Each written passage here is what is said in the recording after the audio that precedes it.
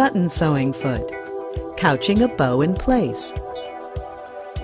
You can use the button sewing foot to couch a bow to your fabric. To attach the foot, slide the bar onto the back of the presser foot holder and then lower it to snap the foot into place. Some Janome machines have a button sew-on feature, which will automatically lower the feed dogs. Or you can use a zigzag stitch, but be sure to lower the feed dogs manually. Position the knot of the bow in the middle of the foot. Adjust your stitch width to narrow and sew. To completely hide your stitching, you can use invisible thread. Raise the needle and cut the thread. Position one of the loops of the bow under the foot and stitch into place. Raise the needle and cut the thread.